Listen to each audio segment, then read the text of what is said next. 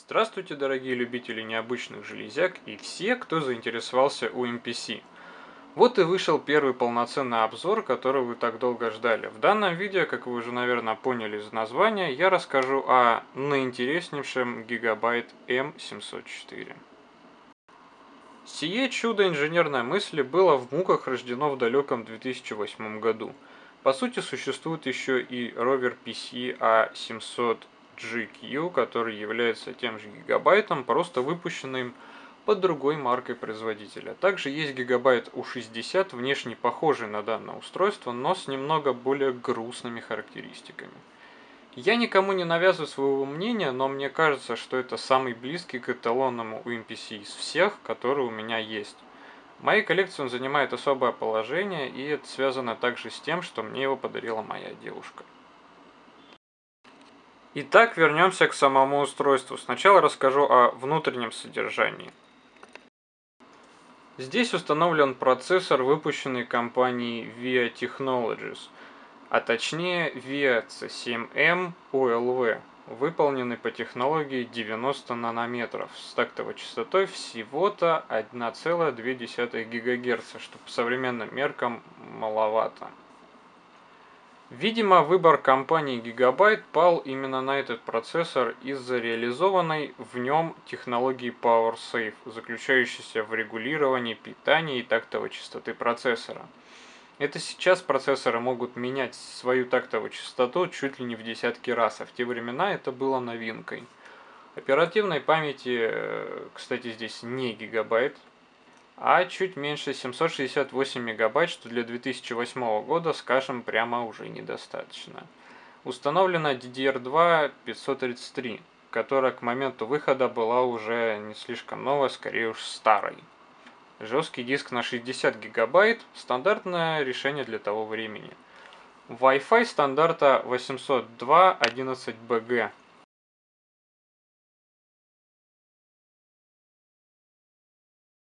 Синезуб версии 2.0 с EDR. Enhanced Data Rate. Дословно усовершенствованная передача данных, дающая возможность передавать файлы на скорости до целых 3 мегабит в секунду. А вот это уже действительно круто. Но есть одно но. Для того, чтобы что-либо передать на такой скорости, необходимо иметь как минимум два таких устройства. А это, как вы понимаете, большая редкость для того времени. Ну и это, пожалуй, все из того, что нельзя увидеть, не разобрав, э, разве что чипсет VIA V700. Теперь взглянем на внешнюю сторону устройства. Экран сенсорный 7 дюймов, разрешение 1024 на 600 пикселей, которые мы видим на лицевой стороне. Углы обзора не слишком плохие,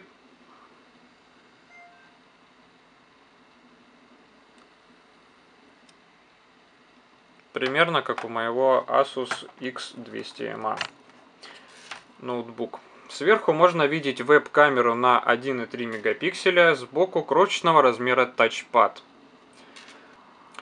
И ряд функциональных клавиш. Сверху вниз. Сделать фото с камеры, отключить тачпад, меню мобильного центра, если установлен, и последнее приближение части экрана, на котором находится указатель мыши. Слева находятся две клавиши, представляющие собой э, эмуляцию левой и правой кнопок мыши соответственно. Над ними находится светодиодная индикация, синий зуб, Wi-Fi, использование жесткого диска, зарядка батареи, статус подключенности и микрофон. Данный MPC открывается по типу слайдера – Необычное, но, на мой взгляд, удачное решение.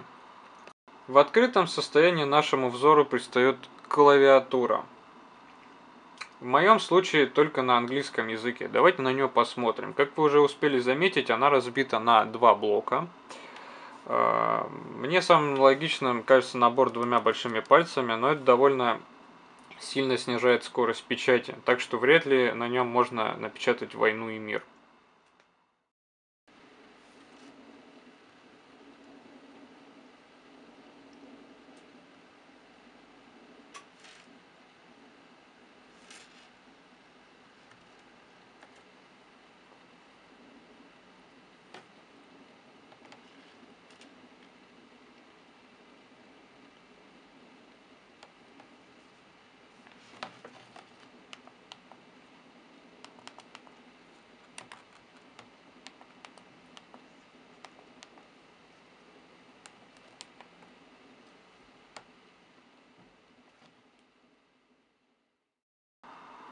Клавиши прекрасно нажимаются. Присутствуют кнопки F1, F12 а, и все остальные, которые обычно имеются в стандартной ноутбучной клавиатуре. Между этими двумя блоками мы видим, о боже, рекламу, которая гласит, а, что на данном межгалактическом устройстве стоит процессор, о котором я уже рассказывал выше, и то, что данное устройство создавалось для Windows XP. Хрюша действительно хорошо себя показывает при таких данных, они чуть позже. И кроме рекламы здесь есть четыре клавиши. А, включение и выключение Wi-Fi, а, зуба и камеры. А также включение BY модуля, а, к нему мы тоже скоро вернемся. Работать за столь крохотной сенсорной панелью хоть и странно, но довольно удобно, так как она весьма отзывчива. Сенсорность этого экрана тоже довольно неплоха. Ну, для того времени. Напомню зрителю, что в те времена использовались в основном резистивные экраны, которые отзывались практически на любое нажатие. То есть стилусом вы нажимаете или рукой, роли не играет. Стилус был нужен для точности попадания, потому что было довольно неудобно работать пальцами рук. Перейдем к задней стороне. В раскрытом состоянии видны направляющие речного типа, по которым двигается верхняя часть. Вот здесь находятся два вентиляционных отверстия и еще одно, к слову, сверху.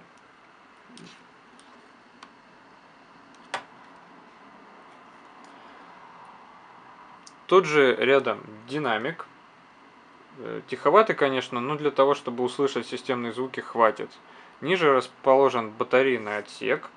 Батарея стоит на 3,9 ампер часа. В самом низу располагается ниша для стилуса.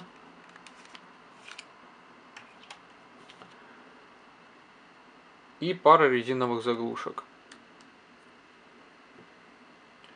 Ровно посередине мы видим пластиковую планочку, предназначенную для того, чтобы можно было поставить UMPC на стол под углом. Примерно таким образом.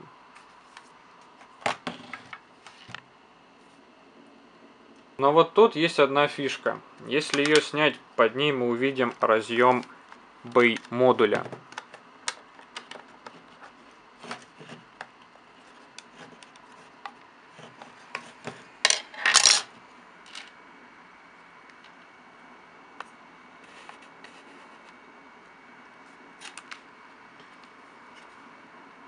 BI-модули в данном случае это модули расширения, с помощью которых можно подключить ТВ-тюнер и смотреть любимые телевизионные передачи на ультрамобильном компьютере. Понятия не имею зачем.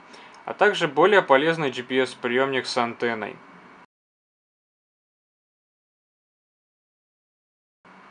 Сам разъем мне чем-то напоминает FireWire, но это просто наблюдение.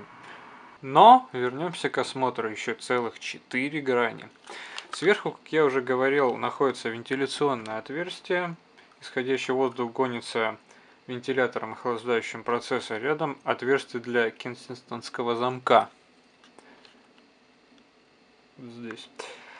На левой грани сверху вниз находится порт USB, слот для подключения карточек SD, а, вытаскиватель батареи. Он нужен для отсоединения батареи при, при отключении ее. И переключатель блокировки батареи а, для того, чтобы случайно не отсоединилась батарея во время переноса. На правой грани сверху вниз. А, разъем питания, микрофонный вход и выход на наушники. Кнопка, дающая команду Alt-Ctrl-Del выключатель и включатель спящего режима. И последняя качелька громкости вот здесь.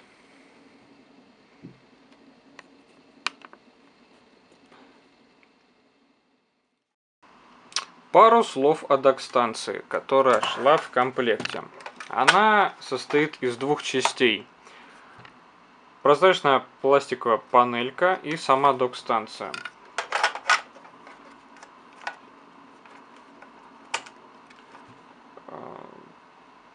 По центру кнопка включения с синим светодиодом.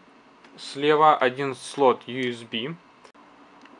На задней стороне э, разъем подключения внешнего источника питания, выход на монитор VGA, э, подключение кабеля Ethernet, два USB кабеля можно подключить. На правой стороне, слева направо, разъем IEEE 1394, более известный как Firewire, и разъем для подключения наушников. Из интересного еще здесь имеется выдвижная подставка под стилус.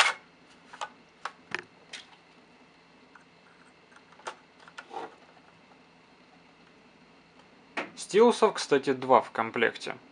Кстати, о комплекте. Это добро поставлялось вот в такой коробке.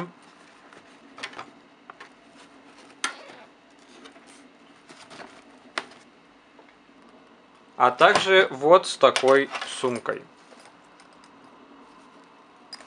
на которой хорошо читается фирменная надпись Гигабайт. Удобная, кстати, сумка. Так, с железом закончили, остался софт. Как я уже говорил, MPC работает под управлением Windows XP и работает довольно хорошо. В игрушки, конечно, не поиграешь, но для работы в офисных программах и выхода в сеть хватает. А также довольно неплохо можно на нем смотреть фильмы и слушать музыку.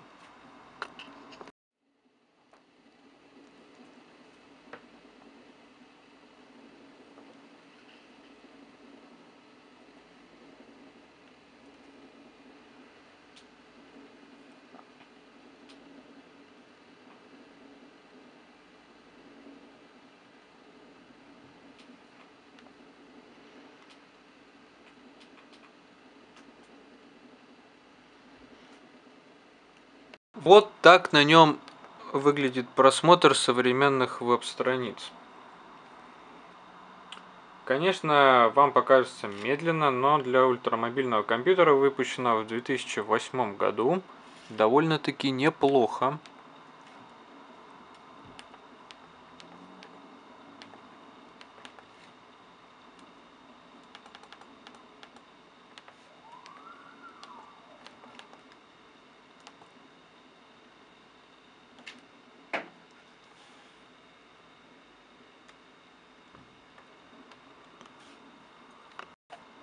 Фильмы и музыку демонстрировать не буду, так как вы уже поняли, как он будет себя вести.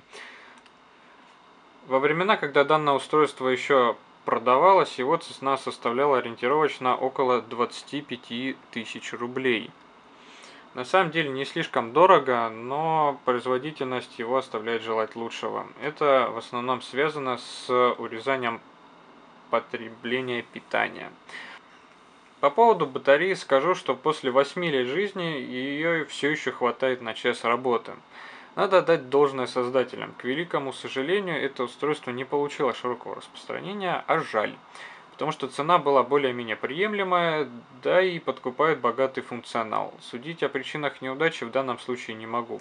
Возможно, ответ просто потому что.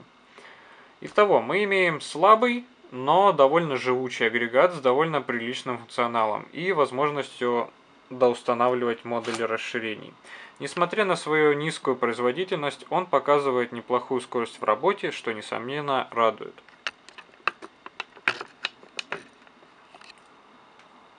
Итак, если вам понравилось и вы будете смотреть следующие ролики, то подписывайтесь, а также заходите на канал Кирилла Лейфера, где он очень интересно рассказывает о старых девайсах. Спасибо за внимание. До новых выпусков.